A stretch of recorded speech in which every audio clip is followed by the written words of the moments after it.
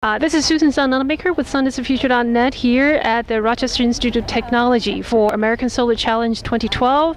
And we here have the Michigan State University's uh, uh, car. Here we have both um, Dan, right? Dan and Miles.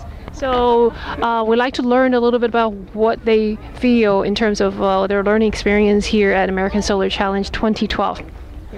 Oh, I uh, I learned an enormous amount of things just throughout building this car and through this whole experience of traveling with other people and uh, just kind of getting along. And we we pretty much had to we made so many adjustments to our car at the Formula Sun Grand Prix, and just like it was like on the spot work. We learned a tremendous amount, especially from all the other people that offered to help us and just offered us advice on our next model and stuff like that. We just learned an enormous amount.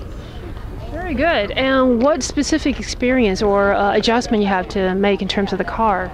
Uh, we got a lot of work to do, like on our whole frame and uh, like frame support and force deflection type deal. And uh, I don't know, we just we need a new suspension design. We need new, uh, pretty much everything. New body, new. We're, we're gonna we're pretty much gonna start from scratch next year, scratch next year, and uh, we got a lot of really good ideas from the other people around here, other people around here in their cars. Very good. Well, what percentage of your members are new members? Um, is it more than half or less than half?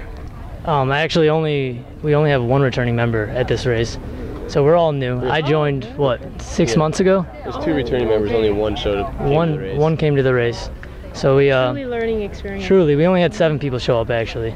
But um, yeah, I mean, joining the team six months ago, I had never seen a a solar car, and here I am designing one, hoping to get to that next level to compete with some of these other schools.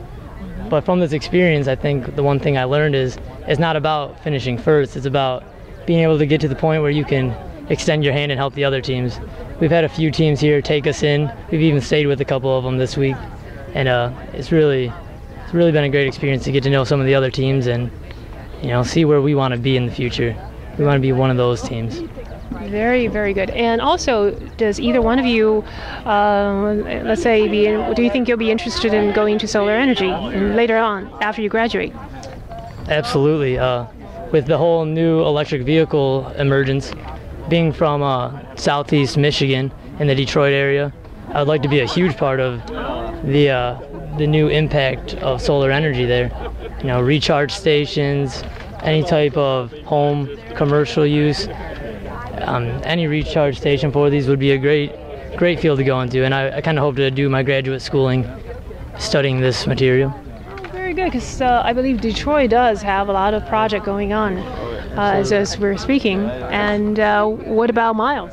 yes, definitely. I would. Uh, that's one of the main reasons why I picked this uh, organization to uh, go with. Is uh, I'm very interested in alternative energy, mainly like solar energy, and the direction it's going in. I think it has a, a very, very long future. Fantastic. Well, we look forward to also seeing you both in the future, uh, not just this year, but also in the future uh, American Solar Challenges. Well, thank you very much. Really appreciate these few minutes. And signing off, Susan Sun Nunamaker with SunIsTheFuture.net here in Rochester, New York, the starting point of the American Solar Challenge 2012.